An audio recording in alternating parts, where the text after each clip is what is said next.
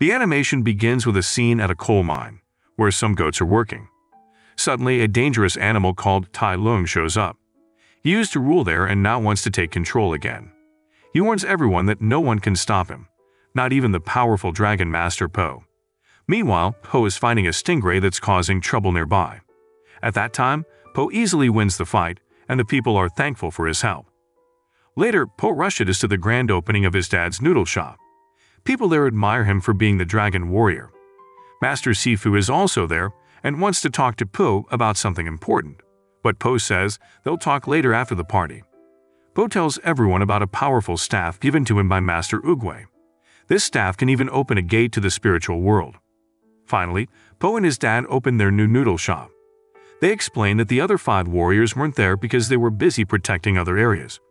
So, Po and Master Shifu finally talked. There, Po was surprised when Master Shifu said someone else had to be the dragon warrior now. Master Shifu said Po could be a spiritual leader to keep peace, but Po didn't like that. He still wanted to be the dragon warrior. Then, it was time for Po to pick the next dragon warrior. He had to choose from five kung fu masters, but instead, he chose himself because he believed he was still worthy. Shortly after, Po told Master Shifu he wasn't ready to be a spiritual leader like Master Oogway. Master Shifu said Po would find the answer someday. So, Po meditated to find the answer. But he ended up more confused about what to do next. One day, Po saw an animal sneaking into the museum. It turned out to be a fox trying to steal old treasures. At that moment, Po fought the fox, which was tricky because it was very agile. Eventually, Po managed to win, but the fox pretended to be unconscious and stole Po's spirit stick. However, Po didn't give up and fought until he caught the fox. Then, some mountain goats warned Po that Tai Lung had returned. Upon hearing that, Po didn't believe it because Tai Lung was supposed to be in the spirit world. The fox, named Zhen, said sometimes big signs can be small. Hearing that confused Po. Later, Po went to the mine where Tai Lung first appeared. He found strange tracks. First, they looked like a tiger's paw, then they turned into a small paw. Suddenly, Po remembered what Zhen had said.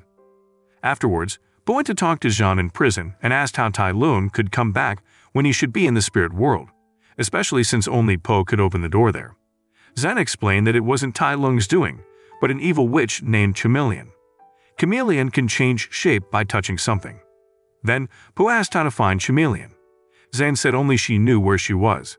Hearing that, Po was skeptical but eventually agreed to let Zhen help.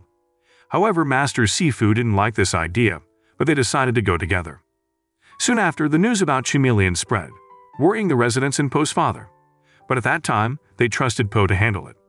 Meanwhile, the masters discussed how to deal with Chameleon. The bear master wanted to attack her, but the crocodile master warned against it because Chameleon could easily figure out their plan. Because Chameleon can turn into anyone, she can even become all of them. The shocking thing was when they discovered that the crocodile master was actually Chameleon in disguise. The other masters were stunned. Soon after, Chameleon revealed that she wanted to take over the city and needed the red moon for a ritual to open the spirit gate. But all these rituals cost money, so she demanded more tribute. When the bear master refused, Chameleon threatened to turn into the elephant master. Meanwhile, Mr. Ping and Po's father were worried about Po losing to Chameleon. They decided to go look for him. The next day, Po and Zhen arrived at the other side of the city where Chameleon was. They needed a boat to cross, so Po found a shop called Happy Bunny, run by rabid criminals. He paid the captain there to take them across. Meanwhile, Zhen was winning money by cheating at mahjong with the shop owner. But Po's mistake caused chaos, revealing Zhen's cheating. Eventually, they left on the boat with the captain. During the journey, Zhen shared how she became a thief since she was little, but she's actually an orphan. That night, Po had a nightmare about Chameleon setting traps for the previous masters and wanting to control all areas. When they woke up, they found themselves in a city in space. Po was really surprised because this city was very busy, unlike the one he was used to. As they walked around, they saw guards taking things from people. This had been happening since Chameleon became the leader.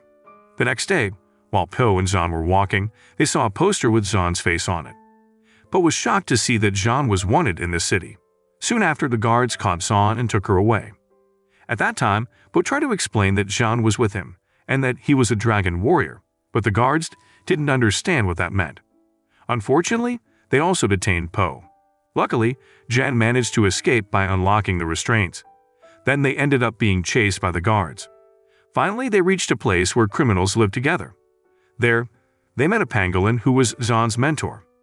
But they got into trouble because they thought Zhen was causing problems for them in the city since Chameleon took over. There, Zhen tried to explain that things would get better because she brought a dragon warrior. But no one knew what a dragon warrior was. At that moment, Zhen pleaded with her mentor to help them defeat Chameleon.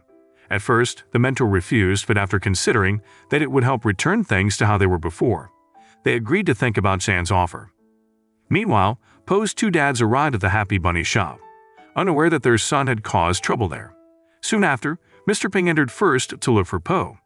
The criminals there informed him about Po's previous trouble at the shop. To find out where Po had gone, Po's father disguised himself as Po. At first, the criminals were scared of him, but they realized he wasn't Po because he couldn't perform kung fu and acted strangely. Eventually, they told him where Po had gone. Back to Po, who was practicing moods with Zhen. Zhen noticed Po's kindness and felt he was different from other masters. Together, they sneaked into the palace using the route Zhen knew.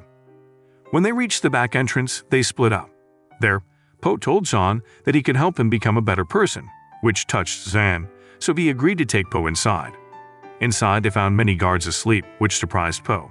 Soon after, they entered quietly, but Po accidentally made a noise, waking up the guards who chased them inside. They encountered traps at the door, but managed to bypass them. Unfortunately, Po got caught in a cage trap. They tried to break it, but failed. Zhen decided to search for something to destroy the cage. So, Po handed over his spirit stick to break the cage. But to his surprise, Zhen turned out to be Chameleon's right-hand person. Chameleon had used Zhen as part of a plan to get Po's spirit stick.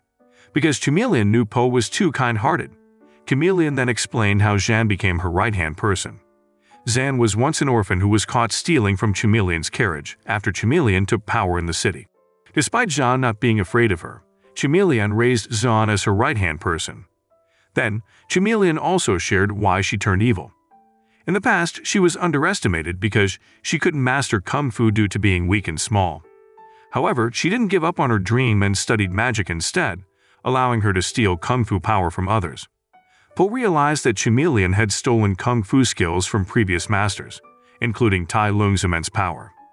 Unable to break the strong cage, Po decided to smash the floor to escape. Outside, someone who appeared to be Zhen approached Po with a spirit stick. But it wasn't Zhen. Turns out, it was a trick by Chameleon. Chameleon wanted to touch Po to turn into a copy of him. Zhen was disappointed with Chameleon because she thought Po had died.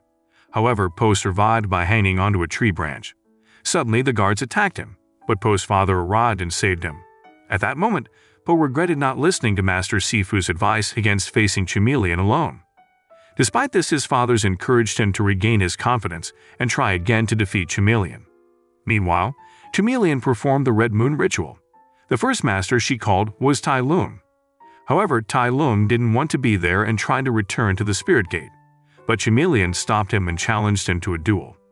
Eventually, Chameleon forcefully took Tai Lung's power, mastering all his kung fu skills.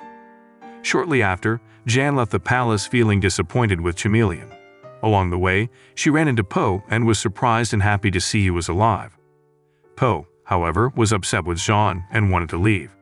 Despite this, Zhen kept apologizing and tried to stop Po from fighting Chameleon to protect him. However, Po didn't listen and ended up fighting Zhen. Eventually, Po walked away, but Zhen hugged him to encourage him to keep going. Po still had to face Chameleon. Meanwhile, Po witnessed Chameleon stealing kung fu powers from masters Po had defeated before. The masters blamed Po for not protecting the spirit stick stolen by Chameleon. But there Po promised to defeat Chameleon and return their kung fu to normal. However, the masters doubted his ability to defeat Chameleon since she had all their powers. On the other side of things, Po's dad disguised himself as Po once again to distract the guards. Unfortunately, it, it didn't scare them, and they chased him. But it was all part of a plan where the underground criminals helped Po, thanks to Zhen's request. Eventually, Po confronted Chameleon to get his spirit stick back. Soon after, Chameleon returned it casually, feeling confident in her own kung fu skills.